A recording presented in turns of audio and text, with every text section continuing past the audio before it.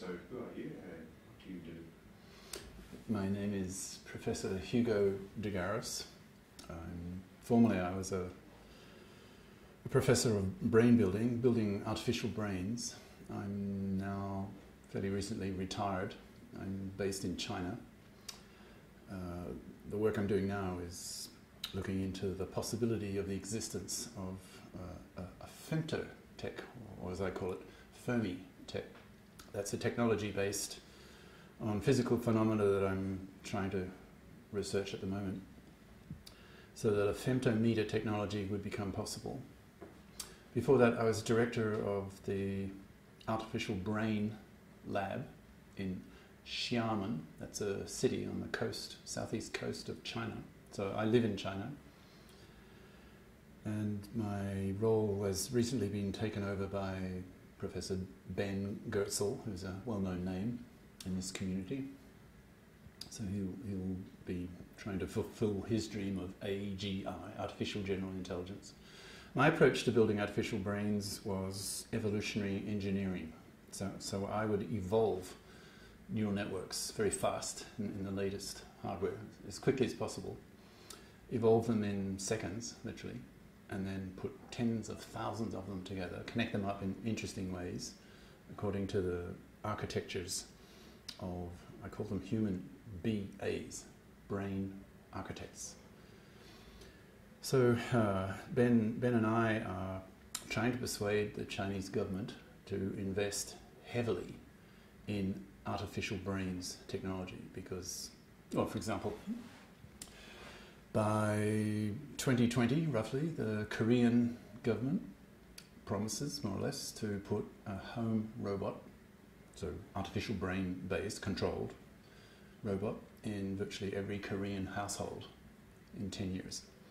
And Bill Gates is on record saying that by about 2030, it's a mere 20 years away, uh, the home robot industry will be one of the biggest and richest in the world. And that makes sense if you think about it, because uh, how much money would you be prepared to pay for a genuinely useful, intelligent home robot that could, for example, take the dog for a walk or wash the dishes, clean the house, wash the clothes? You know, a, genuinely useful robot.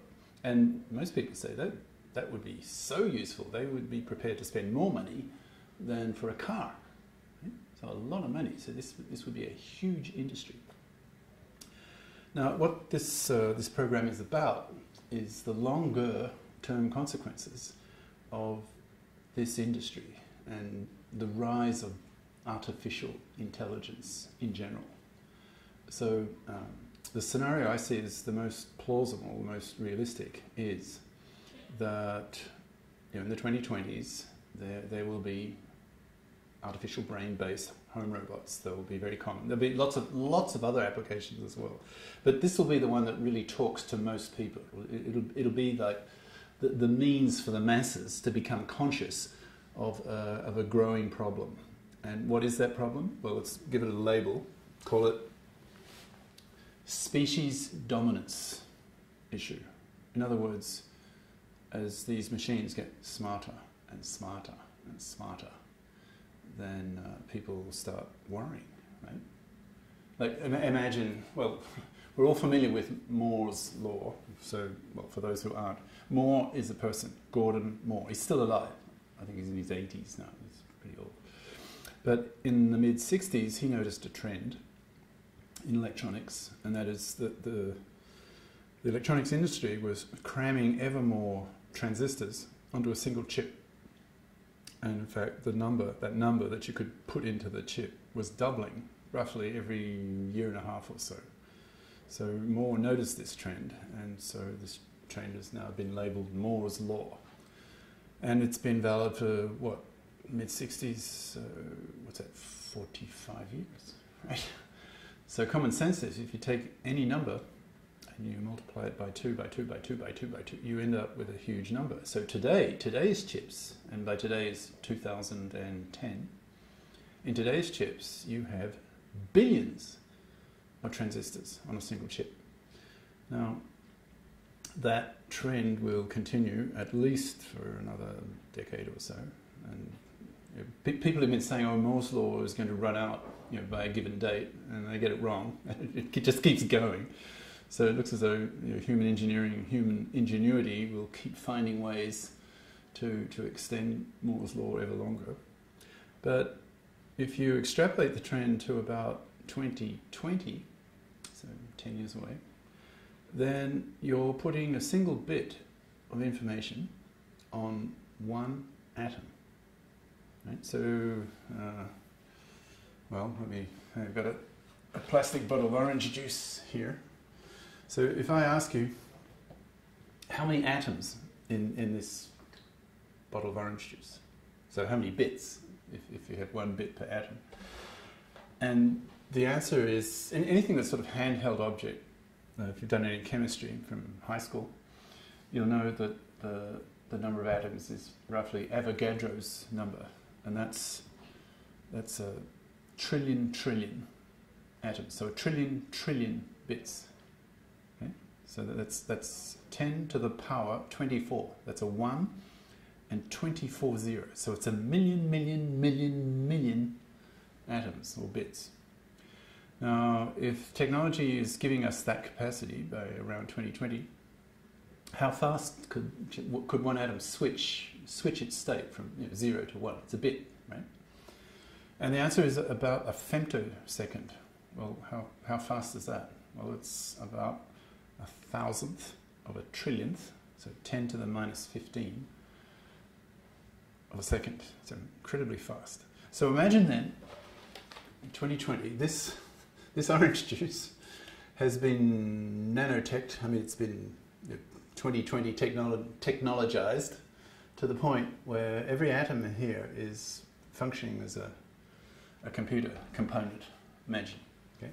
So, what's the computing capacity then of this handheld object, this, this bottle of orange juice? And the answer is well, you can work it out. How many atoms? Well, trillion, trillion, that's 10 to the 24 and each atom is switching, let, let's say roughly 10 to the 16. So what's that? 10,000 trillion times a second. That's each atom. And, yet, and you've got a trillion trillion atoms. So do the math, you just multiply those two numbers, and you get 10 to power 40. That's the technology that's coming, right? In a mere 10 years. 10 to power 40 bit flips, bit flips per second. All right. Now ask yourself a similar question. What's the equivalent computing capacity of the human brain? How do you how do you calculate that? Well, you can estimate it fairly easily, fairly quickly. Uh, how many brain cells do we have in our brains? About 100 billion, more or less. So that's, that's 10 to the power 11. Okay? And each brain cell, or neuron as they're called, connects, makes a connection, physical connection, to about roughly, let's say, 10,000 others. So that's 10 to the 4. And each connection, there's a technical word for that connection between two brain cells, it's called a synapse. So each synapse can signal at roughly maximum, say 10 bits per second. So that's 10 to the 1.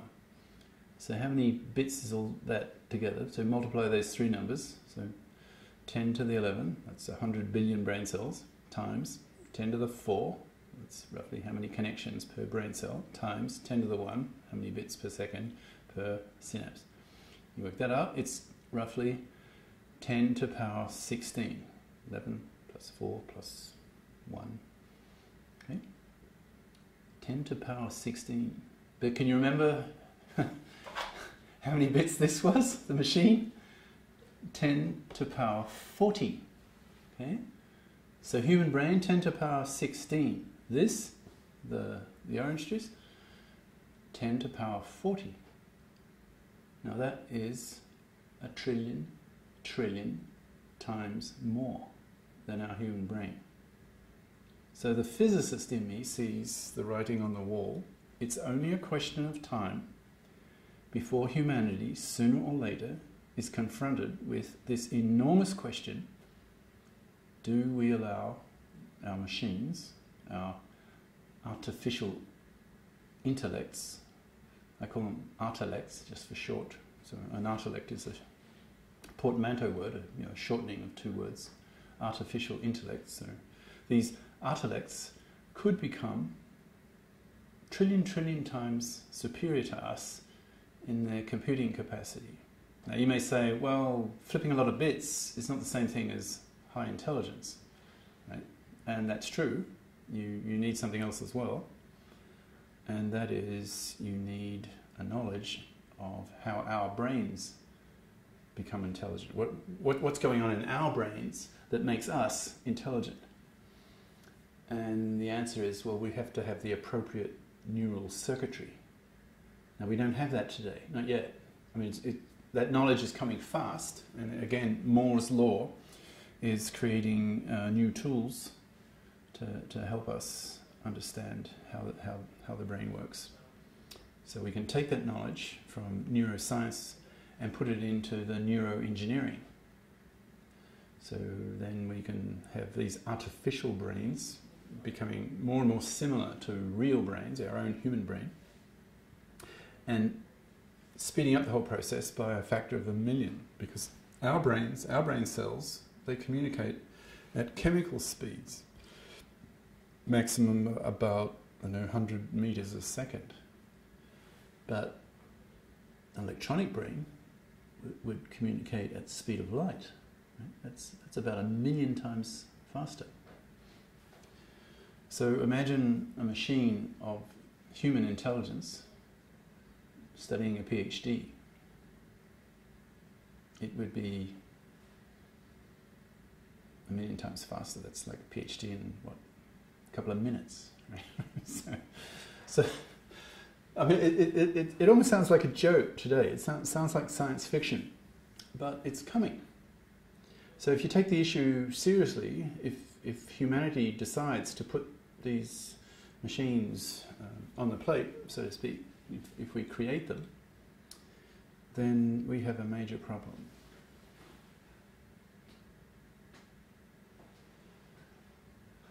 Okay, next one. You're, yeah, you're going to sleep. Boy. This- Can you-